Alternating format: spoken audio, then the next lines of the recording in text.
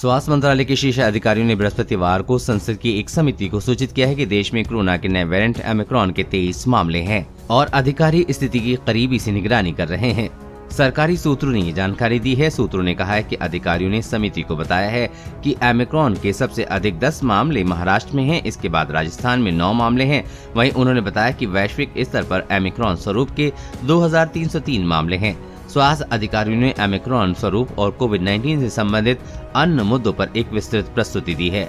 स्वास्थ्य सचिव आईसीएमआर महानिदेशक और मंत्रालय के अन्य शीर्ष अधिकारी कोविड 19 के एमिक्रॉन स्वरूप से उत्पन्न चुनौतियों के मुद्दे पर स्वास्थ्य पर संसद की स्थायी समिति को जानकारी दी, जिसकी अध्यक्षता समाजवादी पार्टी के सांसद राम गोपाल यादव कर रहे हैं। सूत्रों ने बताया कि कोविड 19 रोधी टीके की बूस्टर खुराक के सवाल पर अधिकारियों ने कहा कि यदि आवश्यक हो तो तीसरी खुराक ली जा सकती है, लेकिन दूसरी खुराक के नौ महीने बाद ही। देश और दुनिया की हर अपडेट पाने के लिए चैनल को सब्सक्राइब करें।